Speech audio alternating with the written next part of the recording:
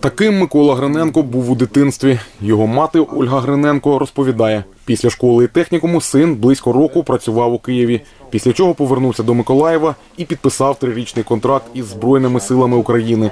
Обрав 79-ту окрему десантно-штурмову бригаду. Він поїхав, йому дали там дали розрішення, ну дали направлення, що проходить медкомісію. Він пішов проходити медкомісію. Він мені сказав, на контракти піду.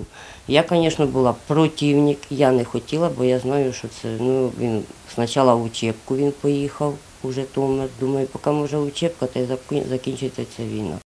Микола Гриненко вивчився на снайпера. 26 березня 2018 року вперше поїхав у сектор операції Об'єднаних сил.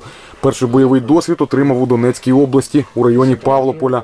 Ольга Гриненко згадує, постійно тримала з сином зв'язок. Разом з донькою посилала йому все необхідне. Посилки посилали, на Телаківку я посилала. Е, Ну, таке продукти, і сестра посилала йому теж рятувалянки, просив то носки. 23 січня 2019 року Ольга Гриненко дізналася, що її сина розшукують. Ми хорошо говорили з ним, він з сестрою побалакав, все цей. Що все, все добре. І утром у 8.26 мені дзвонить телефон. Дивлюся, не підписаний номер. М, Беру трубку. Ну, Гриненко Ольга Петрівна, кажу, да. Я не пам'ятаю, хто він, ну, що почула, що з воєнних. Цей питається мене, а де ваш син? Я кажу, як де мій син служить? А е, його нету. Кажу, як нету? Його нету. Мене почало трусити, і це кажу, він е, вчора ми з ним говорили, а як він пропав, при яких обстоятельствах? Мені е, це. А мені сказали, я е, він я непосредственно у нього хожусь в городі Ніколаєві, я не знаю, дзвоніть, як його руководство. Зникнення Миколи Гриненка помітили приблизно о 4 годині ранку. Він не заступив на бойове чергування. 1 лютого у інтернеті з'явився відеоролик незаконних збройних формувань, на якому Микола Гриненко розповів, що потрапив у полон, коли з трьома іншими військовими виконував бойове завдання. Ну, каже, коли цей, я оглянувся, їх немає. І тут, каже, йдуть. Він каже, да, і ток проходив, і ток підключали, і, все було. І три дні сидів взагалі з зав'язаними глазами, це вже я в нього спросила вже зараз. Він каже, три дні сидів, мені ні води не давали, нічого.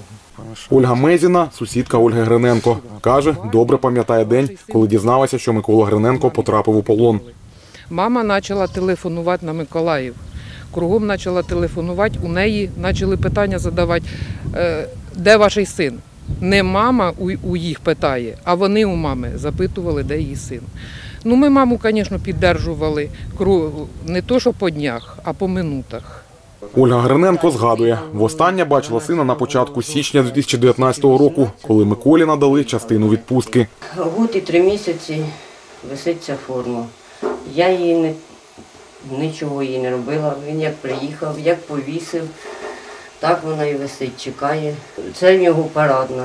Я йому говорила, Коля, забирай її з собою. Він сказав, мама, пришлете. А взагалі я скоро поверну, приїду. У 79-й окремій десантно-штурмовій бригаді проводили внутрішнє розслідування. Миколу Гриненка підозрювали у дезертирстві. Згодом військового внесли до списку полонених. 16 квітня 2020 року відбувся обмін полоненими між Україною та незаконними збройними формуваннями. Серед тих, хто повернувся на батьківщину, був і Микола Гриненко. Зараз військовий перебуває на двотижневій обсервації у місті Святогорськ Донецької області.